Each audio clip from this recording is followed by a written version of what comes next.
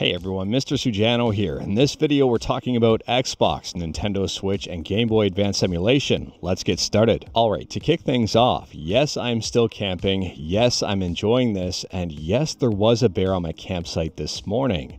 My wife may or may not have got some footage. We are just more concerned at getting the bear off the campsite, but we're safe and sound and ready to go. All right, we'll kick things off here talking about Xbox emulation with Xemu, not to be confused with Cemu, the Wii U emulator. Xemu now has over 800 games listed as playable, and this is a really big milestone. In fact, if you head on over to Xemu's website, which I will leave a link to in the description below, you can check out the compatibility tracker yourself. I'm not entirely sure if this is completely up to date, but if we take a look here, they've got 78% of games listed as playable and 3% of games listed as perfect, which equals 81% overall. If you're an Xbox fan, you might want to check out Xemu. They are absolutely killing it. And for those of you wondering, yes, the Xbox is a very difficult system to try to emulate, and so is the Xbox 360 for that matter.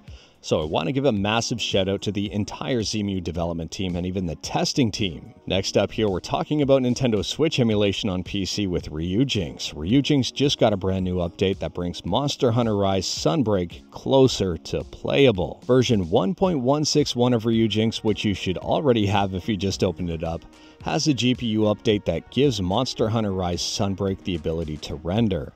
It is not playable just yet, but if you're interested in this game at all, you might want to keep your eye on it. The Ryujinx team is incredibly quick at development. Last up here, we're talking about Game Boy Advance emulation with the incredible MGBA. There might be a new version of MGBA just around the corner. Now, Endrift, the developer of MGBA on Twitter, states, I'm getting increasingly close to releasing MGBA version 0.10 but I want to fix one specific issue first, and it's not easy to fix. Now, Endrift goes on to state that they have this working really well on Linux, but on Windows it works terribly, and someday they will have this fixed.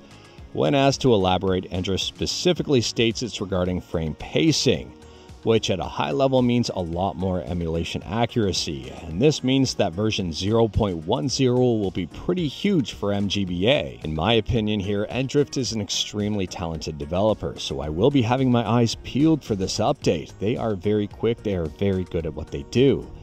And even if this does take a little bit of time to figure out, I'm extremely excited to see version 0.10. On a side note here, I don't want to spoil this story, but if you're a fan of Pokemon Emerald or Ruby, you might want to check out Endrift's series of tweets they managed to somehow break the game just a little bit. I am not joking here, this is a completely wild breed and definitely worth your time if you're a fan of the games. But anyways, that is all I've got for you in this one. Straight to the point, all stuff and no fluff.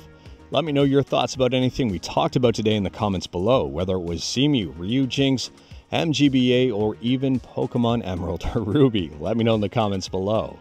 And yes, I'm still camping. Yes, I'm still recording, editing, and uploading everything from my Steam Deck. And here is my campsite for those of you who are curious. There's my wife by the fire that hasn't been lit yet.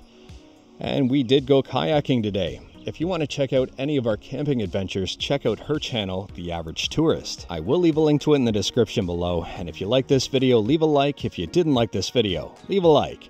Hit that subscribe button, check out my other videos, don't tempt fate, save your state.